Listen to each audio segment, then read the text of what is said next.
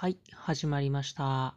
陶芸細工亀の屋のはやでございます、えーこのネット上の屋台にふらっと立ち寄ってくださった方、またいつも来てくださる皆様、本当にありがとうございます。雑談解説交えて今日もお送りします。えー頭ができてまいりました。足をひねり出すところですね。粘土が形を徐々に変えていく様子をゆっくりとお楽しみください。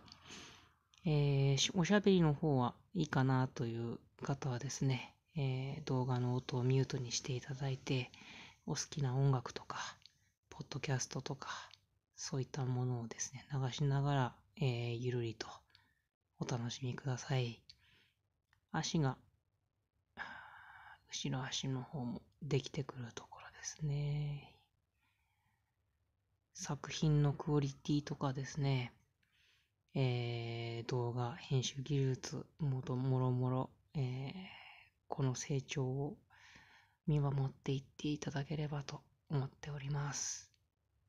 今回は、えーラクダを作っていくところです。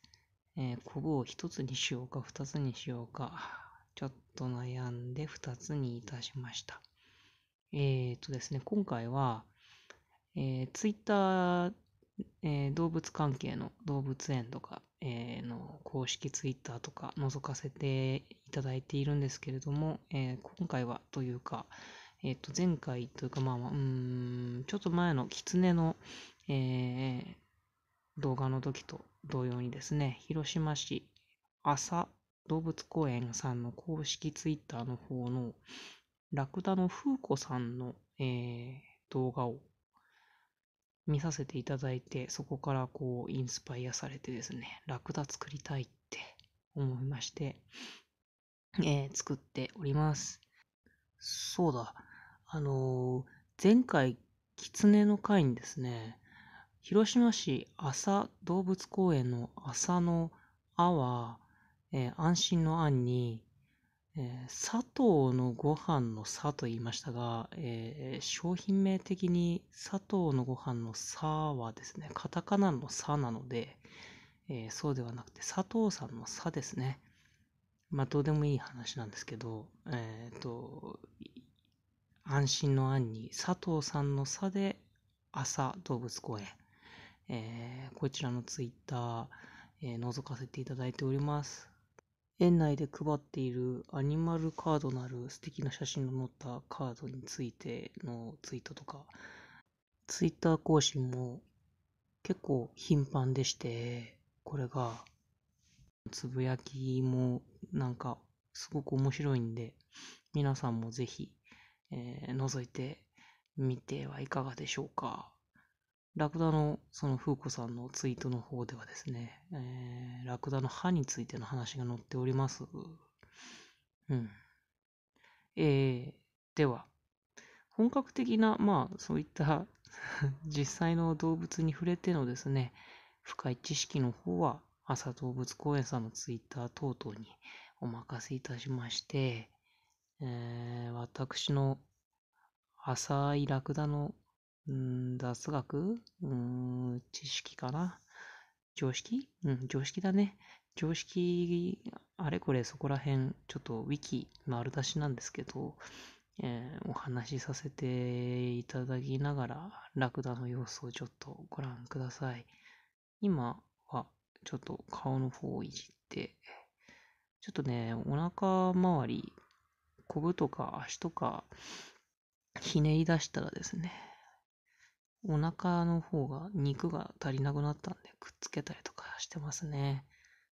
こう、ひねり出さなくちゃいけないものが多いものに関しては、こう、中央の、その胴体部分の体積というかね、粘土の量が少なくなりがちなので、後から足すことが多いですね。あ、で、うん、そう、ラクダのね、ちょっとした常識、知識なんですけど。あのコブね、このね、コブ気になりますよね。何が入ってるかって。うん、私もね、水が入ってるっていう、あの、迷信を信じてました。けど、あれ、脂肪だそうで、こうエネルギー蓄えて、で、かつ、こう熱が上からこう太陽がさんさんと降り注いでも、あんまり熱くないみたいな、その断熱材的な働きをするようですね。汗をほとんどラクダはかかないと。なので、えー、日差しを避ける、そういった、えー、役割がコブにはあるぞと。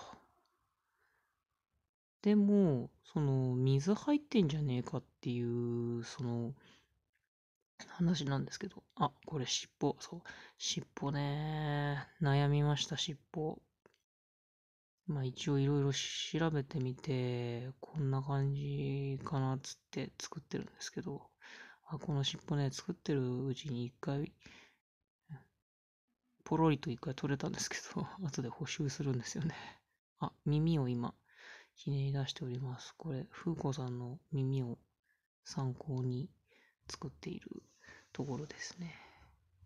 ああ、そうそう。水、そう。水入れなくてもいいみたいなんですよ。昆布に。なんでかっていうと、なんでもその、ラクダの血液ってちょっと特殊で、水分をその他の動物なんかよりも含むことができる、その体液になってると。だから、砂漠みたいなその乾燥した環境にね、適応しやすいんだと。水をあんまり飲まずに耐えることができるんだっていう話だったみたいなんですね。貯水タンクいらずということだったようです。知らなかった。あと、まつげ、すごいね、えー、長かったりとか、あと、鼻の穴閉じられたりとか、するので砂が入らないようにするみたいなね、本当ね、ほんと砂漠仕様の動物ですよね。あと、足ですよ、足。これから、えっ、ー、と、私、いじってくんですけど、足がね、あのー、なんというか、こう、指が2本。だから、その、雪の上を歩く時のね、日本のその履物で漢字着ってのがありますよね。その雪の中でもズボズボっていかないように、なんかこう、うん、広、広くなってる、靴底がね、広くなってる、えー、履物が、まあ、ございますけれども、現代もあるのかな？使う人いるのかな？わからないけれど、まあ昔なのかな？まあ漢字ってのがありますよね。あれと同じような感じで、指がその砂にめり込まないように、えー、ラクダの足2本に、えー、なってるという、そういった構造もお持ちであると。ねえ、ほんと砂漠仕様。すごいね。動物の進化ってあとね、これま、また、これまたウィキビでびっくりしたのが、あの、ラクダの歯の話なんですけど、ラクダの歯って、7歳までかけて永久歯に生え変わるんだそうです。ねえ、人間なんて7年かけないのに、すごい時間をかけてこう、生まれた時の乳歯がですね、7年もかけて永久歯に生え変わると。うん。だから、歯を見ると年齢を知ることができるらしいです。うん。はい。スキンケアの時間が長かったんでカットが入りました。さてはて。顔の形を整えまして、だんだんとね、砂漠の船と呼ばれるラクダくんがだんだんとできてきております。そうそうそうそう。このね、ラクダ作りながら私の頭の中で流れている曲がありまして、あ、今足やってましてね。に2本の足にしてますね。漢字記化しておりますが。そう、このラクダ作ってる時にね、頭の中で、あのー流れてる曲、ザ・マン・イン・ザ・デザートっていう曲があるんですけど、うんとですね、菅野陽子さんという方が作った曲で、弦楽器のね、音がすごく印象的で、なんだろう、砂漠の中をこう、ラクダにでも乗って旅をしていって、何かこう、ストーリーが広がっていくような、そんな曲なんですけど、結構これが好きで、菅野陽子さんの話少しよろしいでしょうか？ねえ、菅野陽子さん、本当にねえ、本当偉大なる作曲家さんになられたっていう、あ、尻尾が取れました。補修します。っていう印象ですよね。一番最初に私が出会った、あのー菅野さんの作品といえば、やっぱりアニメソング、アニメ関係のそのサントラの曲とかだったんですけど、うん。あちなみに、えー、The Man in the Desert という曲は、Song to Fly っていうアルバムがありまして、えーそちらに、えー載っているやつです。曲です。ゲーム音楽だったのかな？確か。ゲーム音楽何曲かと、プラスアルファ、えっ、と、入ったコンセプトアルバムみたいな感じで、これもすごいいいアルバムです。Song to Fly。いろんな楽曲が入っております。ジャンルいろいろ問わずのやつですね。ねえ。その震災後の花は咲くでしたっけ？タイトルの、えー震災後の曲とか、あとね、今やその国の大きな祝い事でも作曲と演奏を担当するような方になりました。うん、本当にすごい。すごい。曲がまずすごい。存在がすごい。私はとても大好きです。ね、やっぱり一番印象的だったのは、まあでも一番こうわーっと名を馳せたのは、カーボーイビバップアニメーションのね、カーボーイビバップがやっぱり始まりだったような印象ですね、私は。皆さんもそうかもしれませんが、世にね、広く知らしま、知らしめた作品だったんじゃないでしょうかね。ね、オープニングとかね、アニメ本編、本編の中でもジャズっぽいやつとか、かっこいい歌物がね、ガーッとかかったのにね、幼心にすごいびっくりした記憶ですね。アニメでこんな音楽と思って。ね。ブルーとか、もうま、なんか、もう好きな曲名あげたらとんでもないことになりますけど、ビバップのサントラは買い集めましたね。きっと同じように買い集めた方いらっしゃったんじゃないでしょうか。あと忘れられないのは、ちょっと菅野さん関係ないんですけど、地上波でのカーボーイビバップの最終話のエンディングの曲も超かっこよかったですね。あれも曲探して買いました、当時。ね。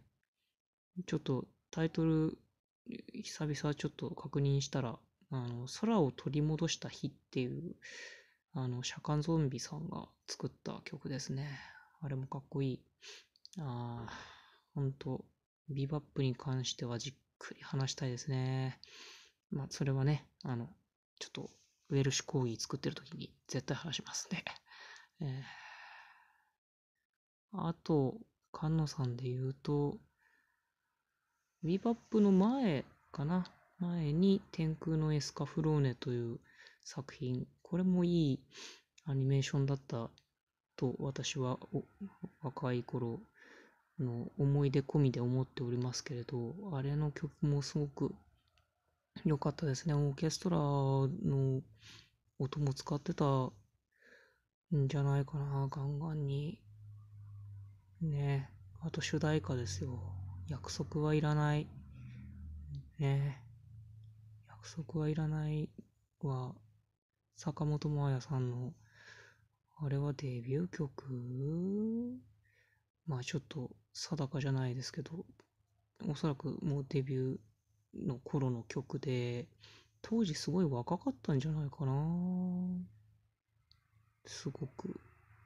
あれもいい曲ですね。あと、天空のエスカフローネの映画の時のあの指輪っていう曲もすごく良かったですね。この2曲はあの カラオケでも歌える、えー、仕様になってますね。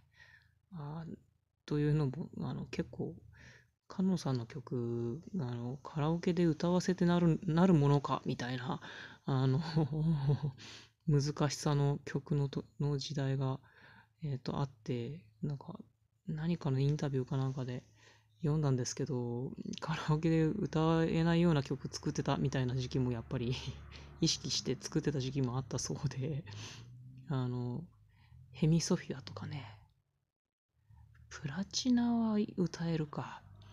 トライアングラーもまあ歌えうん結構ね難しい曲いっぱいありましたよね。アクエリオンの曲も結構息継ぎどこでしたらいいんだみたいな 超かっこいいんですけど歌えないみたいな曲いっぱいありましたね。今聴いても絶対に古くならない、えー、名曲の数々、え、どれもアニメソングですけど、えー、皆さんもえー、聞いていた方はですね、記憶に新しいのではないでしょうか。または、えっ、ー、と、まだ出会ってない方、ちょっと覗いてみてはいかがでしょうか。菅野陽子さんという、えー、作曲家、偉大なる作曲家の過去の作品、もろもろ素晴らしいものがいっぱいございます。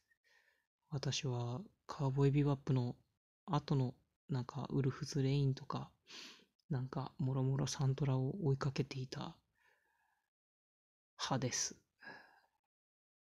あ、出来上がりますかね。出来上がりましたかね。あ、あと映画で、あの、東京空っていうやつのトライフルソングっていう曲もいいですよ。はい。出来上がりました。マイン・ザ・デザートを流しながら作ったラクダ、風子さんをイメージしております。系は短いですけど。それでは、えー、ここまでご視聴いただき誠にありがとうございました。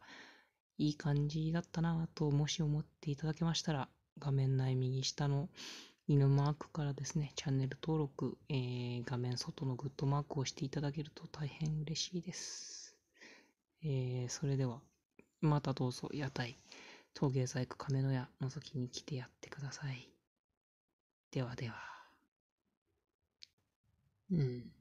菅野さんの話はまたするかもしれませんね。その時はまたよろしくお願いします。